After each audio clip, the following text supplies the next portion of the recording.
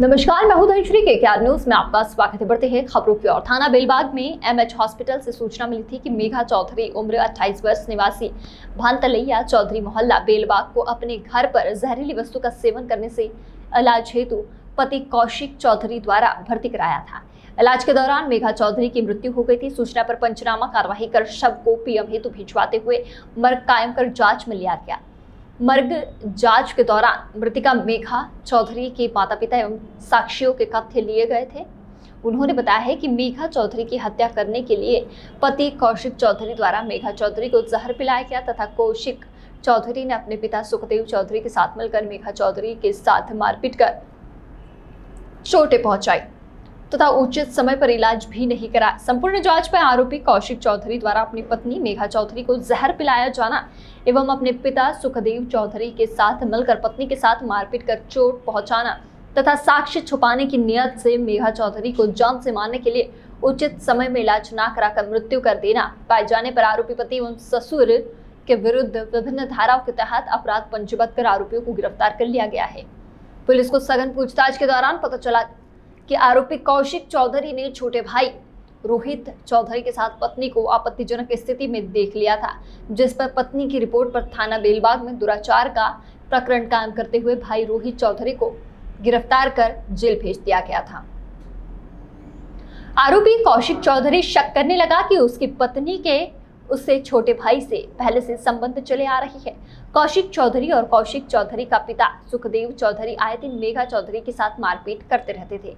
योजनाबद्ध तरीके से कौशिक चौधरी अपनी पत्नी मेघा चौधरी को बर्गी डैम घुमाने ले गया और रास्ते में कीटनाशक दवाई की छह शीशिया एवं गन्ने का जूस खरीदा तथा बर्गी डैम के जंगल में ले जाकर गन्ने के जूस में कीटनाशक दवाई मिलाकर पिला दी। एवं रात्रि में पत्नी को लेकर घर लौटाया, तथा घर पर मारपीट करता रहा। दो दिन तक इलाज हेतु भर्ती नहीं कराया। जब हालात बिगड़ने लगे तो दूसरे को दिखाने के लिए अस्पताल में भर्ती कराया और उपचार के दौरान मेघा की मृत्यु हो गई। दोनों आरोपियों को प्रकरण में विधिवत गिरफ़्तार कर माननीय न्यायालय के समक्ष पेश करते हुए न्यायिक हिरासत में जेल भेज दिया गया है। जबलपुर से वाजिद खान की रिपोर्ट।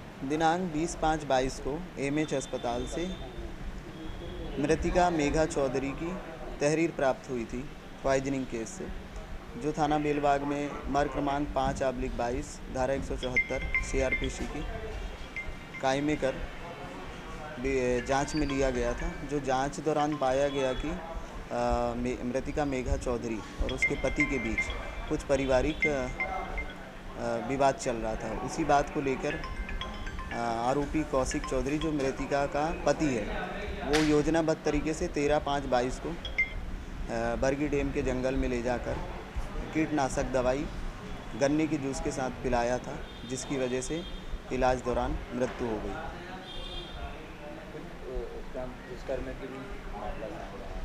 हाँ वो पहले की है ग्यारह पाँच बाईस की। उसमें तो आरोपी रोहित चौधरी था जो जेल में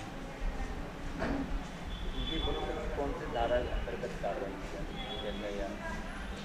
अभी 302 कायम किया गया है। 302 328 के तहत कायमी की गई है। आरोपी कौशिक चौधरी और उसके पिता सुखदेव चौधरी के खिलाफ। ऐसे ही खबरों में बने रहने के लिए हमारे चैनल को लाइक, शेयर और सब्सक्राइब करना ना भूलें।